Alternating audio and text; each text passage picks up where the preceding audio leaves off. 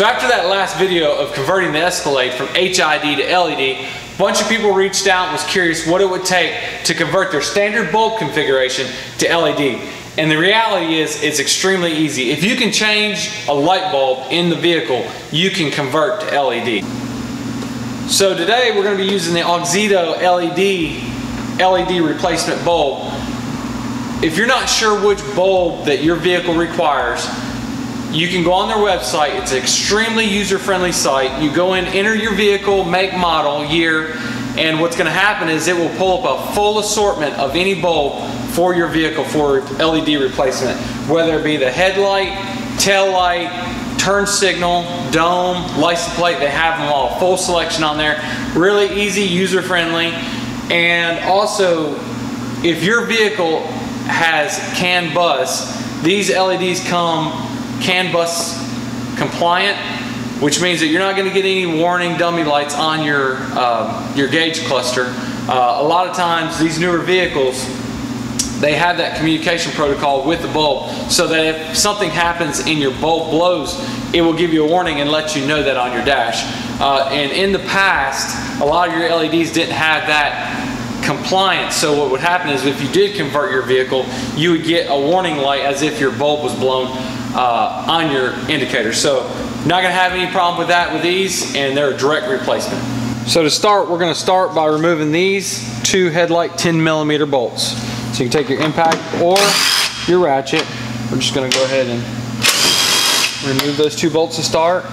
And then what I do is usually just set them right here in the battery tray so you don't lose them. You'll notice it's kind of loose. So now we got to move on to the one other bolt that's hidden down here behind the bumper.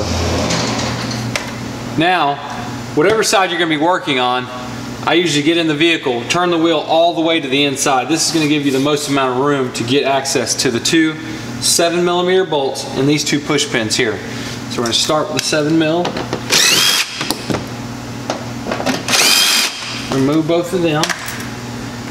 And what we're trying to do is get access to the back here for that hidden bolt for the bottom of the headlight. You just gently pry with either a pry tool or a screwdriver. Just be careful not to chip your paint. A little bit of force there. Now by pulling back here, you can actually look inside here and see. And it appears that somebody has removed that bolt and never put it back. So that would explain why the headlight was so loose. So we're going to be sure when we go back to put that bolt back. So we're going to lightly pull on the bumper here just to get a little bit more room.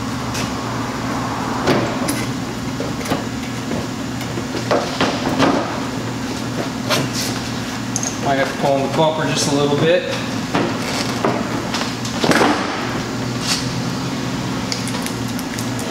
you got one plug in back here, one plug in to remove the whole thing there. Also a note that this is probably a good time if you want to go ahead and polish your headlights up. As you can see, mine's a little grungy, a little sun faded, so I'm gonna go ahead and probably take some polish to this too, just to refreshen the lenses back up.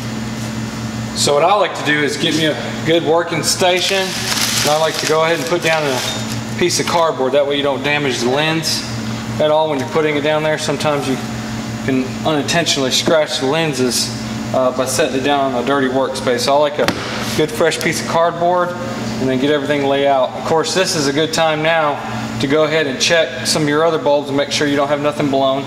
Or if you're just replacing everything with LED, of course, it's just simple as unplugging. But So the bulb specifically we're going to be changing here is our low beam out. So just a little lock tab, take and unplug it.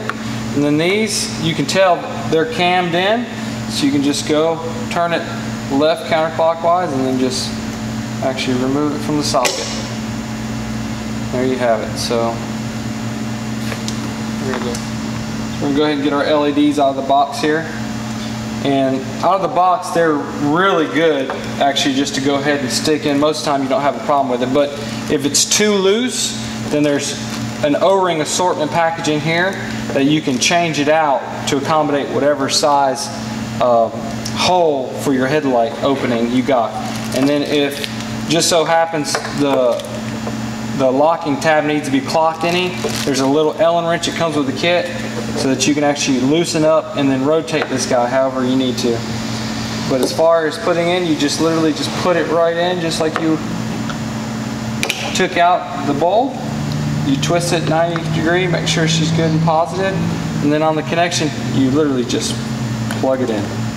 And then that's it. So what I do is I like to take and take those little zip ties that come with the kit and then I take the time to just pretty much zip tie the wires in place so they're not floating around back there. It's not going to keep you from reinstalling the headlight.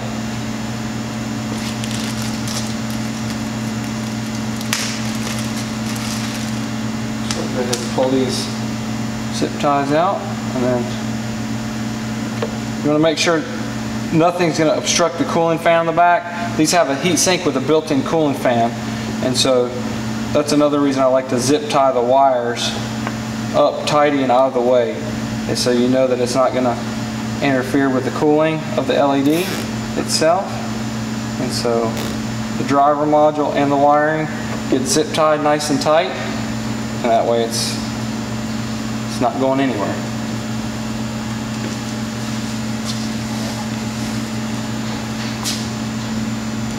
Cut off our excess. So that is done. Now we'll go ahead and reinstall this light assembly and then move on to the to the passenger side. So now that we got our LEDs installed, what I like to do before I go ahead and wrestle this light back in and bolt it all up, get it all put back together, I always like to, it's good practice, go ahead and plug it in and make sure your lights are actually working and everything is doing what it's supposed to. So I kind of set it there. Oh yeah. So luckily everything is working.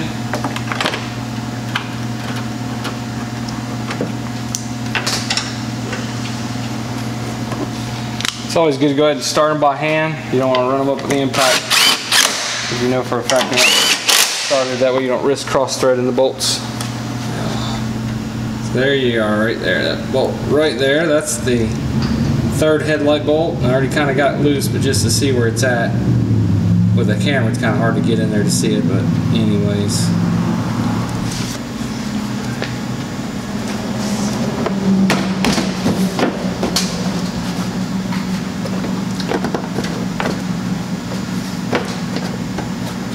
Alright, push these push pins back in. Get our two seven millimeters.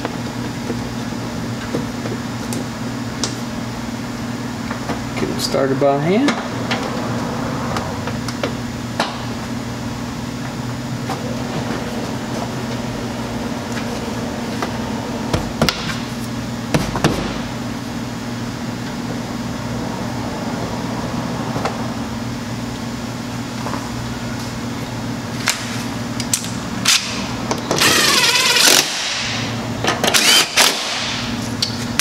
And that side's done. So there you have it. As you can see, anyone with little to no experience whatsoever can do this conversion. Be sure to visit Auxito's website, put in your promo code MATAFIED for 15% at checkout. Thanks for watching.